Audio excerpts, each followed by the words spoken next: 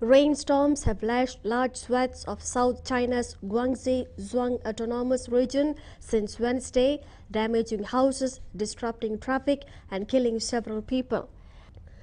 Heavy rain with up to 300 mm of rainfall lasted over 12 hours, flooding 23 residential areas. Rescue teams used inflatable boats to transfer trapped residents to safety. According to the region's civil affairs authorities, over 2,000 people were affected by the heavy rain in the region so far. All affected victims have been removed to safety.